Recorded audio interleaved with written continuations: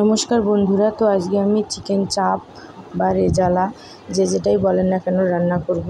তার জন্য এখানে চিকেনের লেগ পিস নিয়ে নিয়েছি। আমি এখানে ছয় টুকরো চিকেন নিয়ে নিয়েছি। এখন এটাকে আমি লবণ, হলুদ, লেবুর রস আর হচ্ছে টক দই ফেটিয়ে এটাকে মেখে আধা ঘণ্টা, এক ঘণ্টার মতো রেস্টে রেখে দেবো। তো এই যে আমার মাখা হয়ে গেছে, এখন আমি এটাকে রেস্টে রেখে এইদিকে একটা মশলা বানিয়ে নেব। তার জন্য একটা বাটিতে পরিমাণ মতো, আপনারা আপনাদের পরিমাণ মতো নিয়ে নেবেন। আমি এখানে এক চামচ হলুদ গুঁড়ো, দুই চামচ হচ্ছে লঙ্কা গুঁড়ো আর দুই চামচ জিরে গুঁড়ো দিয়ে একটু জল দিয়ে এটাকে মিশিয়ে এক সাইডে রেখে দেব। এটাও আধা ঘণ্টা মতো বা পনেরো বিশ মিনিট মতো ভিজিয়ে রাখলেই হবে। তো এটাকে রেখে এখন আমি হচ্ছে একটা মশলা মিক্সির মধ্যে পেস্ট করে নেব। তার জন্য এখানে পেঁয়াজ কুচি, রসুন আর হচ্ছে কাজু বাদাম, কিশমিশ এগুলো ব্লেন্ডারে আমি পেস্ট করে নিয়েছি আর চুলোর মধ্যে একটা কড়াই বসিয়ে তেল গরম করে মেখে রাখা মাংসটা আমি এবার তেলের মধ্যে সুন্দর করে লাল লাল করে ভেজে নেব। তো এই যে মাংসটা আমার ভাজা হয়ে গেছে, দেখুন আমি একদম লাল লাল করে মাংসটা ভেজে নিয়েছি। এখানে মাংসটা ভালোভাবে ভাজতে হবে, তাহলে খাইতে অনেক সুন্দর লাগবে।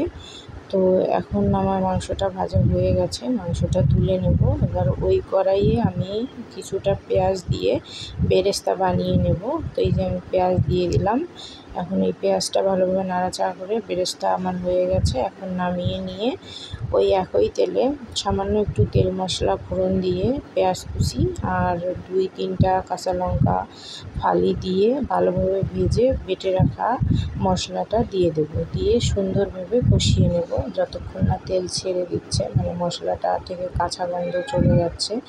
আর একটা কথা, আমি এখানে আদা বাটাও দিয়ে দিয়েছিলাম। তো ওটা আমি দেখাইতে ভুলে গেছি। তো এই যে আমার মশলাটা ভালোভাবে মানে ভাজা হয়ে গেছে। এখন আমি যে জিরে আর হচ্ছে মরিচের গুঁড়োটার একটা পেস্ট বানিয়ে রেখেছিলাম, ওটা দিয়ে সামান্য একটু জল দিয়ে মশলাটাকে আবার একটু ভালোভাবে কষিয়ে নেব। যতক্ষণ না মশলা থেকে তেল ছেড়ে দিচ্ছে, ততক্ষণ। এর মধ্যে আমি এখানে পরিমাণ মতো লবণটাও দিয়ে দিয়েছিলাম। আপনারা আপনাদের পরিমাণ মতো লবণ দিয়ে দেবেন। এটাকে অনবরত নাড়াচাড়া করে মশলাটাকে কষিয়ে নিতে হবে চুলোর জাল লোতে রেখে। তো আমার এই যে মশলাটা কষানো হয়ে গেছে, এখন আমি ভেজে রাখা মাংসগুলো দিয়ে মশলাগুলোর সঙ্গে আরও মিনিট দশেক সুন্দরভাবে কষিয়ে নেব। তো এই যে আমার কষানো হয়ে গেছে, এখন আমি এখানে এক কাপ দুধ দিয়ে দেব। আর এক কাপ দুধ দিয়ে আরও এক কাপ জল দিয়ে দেব যাতে মাংসটা ভালোভাবে সিদ্ধ হয়ে যায় তার জন্য। তো এই যে আর একটু জল দিয়ে আমি এখন এটাকে ঢাকা দিয়ে লো হিটে হতে দেব। তো এই যে আমার তরকারিটা হয়ে গেছে। এখন আমি এখানে তিনটা কাঁচা লঙ্কা, কিছু অল্প দুই এক ফোঁটা গোলাপ জল দিয়ে দেব। আমরা গোলাপ জলটা বেশি পছন্দ করি না, তাই কম করে দিয়ে দিলাম। দিয়ে নাড়াচাড়া করে একটু গরম মশলার গুঁড়ো দিয়ে দিব আর ঘি দিয়ে দেব। তো এই যে আমি ঘিটা দিয়ে দিচ্ছি।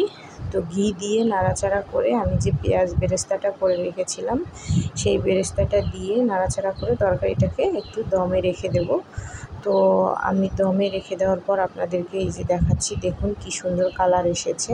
অনেক সুন্দর হয়েছিল রান্নাটা। তো আমার ভিডিওগুলো যদি ভালো লাগে, আমার চ্যানেলটা অবশ্যই সাবস্ক্রাইব করে পাশে থাকবেন। ধন্যবাদ।